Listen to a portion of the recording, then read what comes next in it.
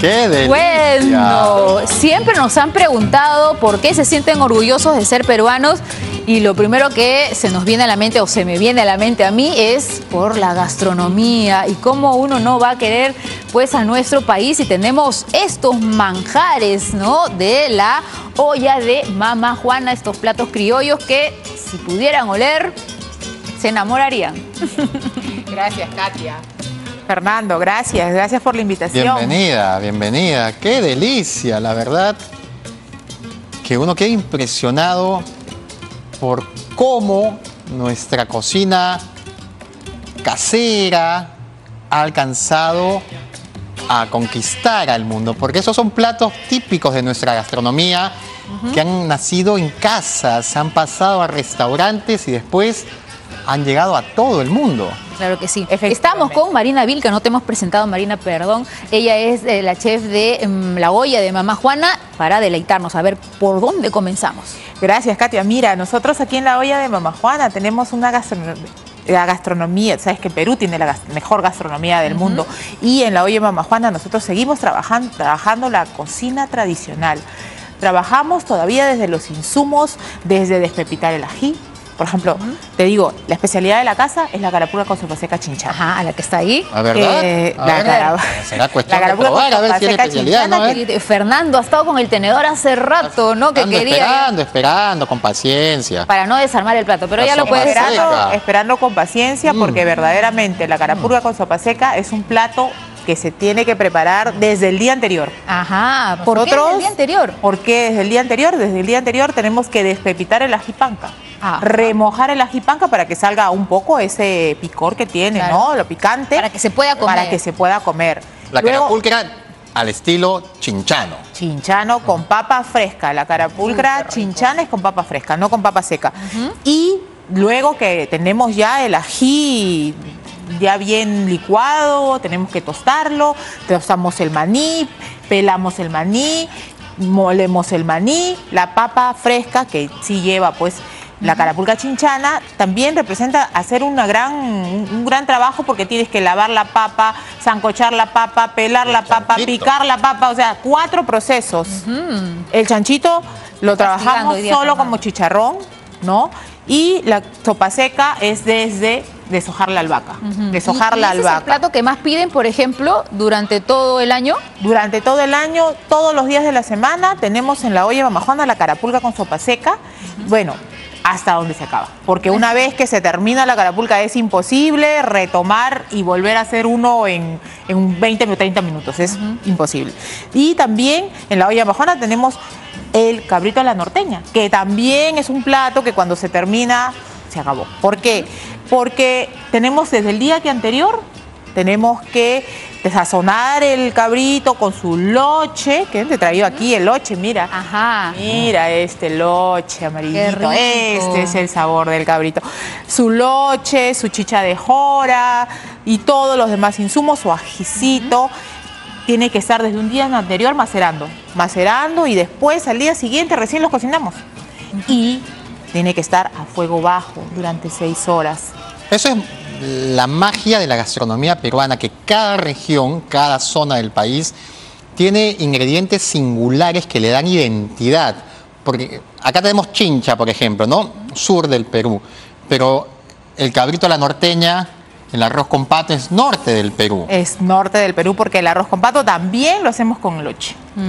Y con su, su chicha de jora y al bajar su cervecita. Me- La mitad para el pato, la mitad para que la que cocina. Ajá. Y la huancaína también la huancaína, mira. es tradicional es ese tradicional. Acá en Lima el arroz con pato lo comemos con huancaína.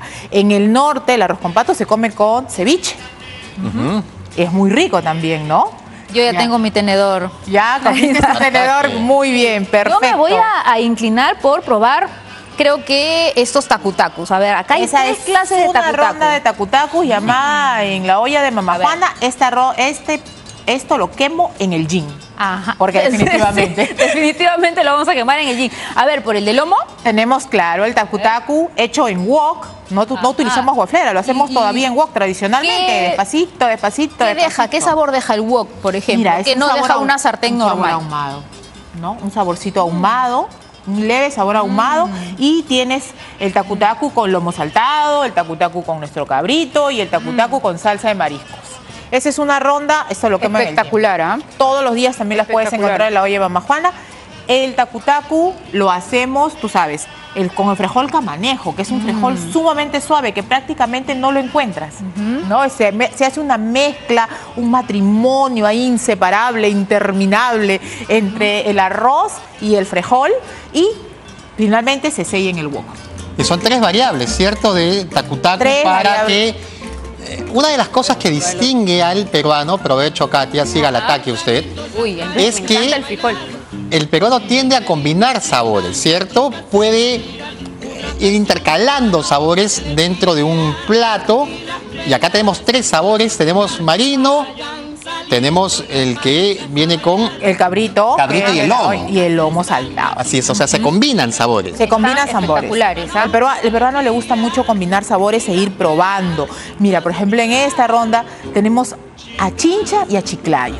Tenemos el cabrito de chiclayo con su frejol, su arroz y la carapulca con sopa seca chinchana.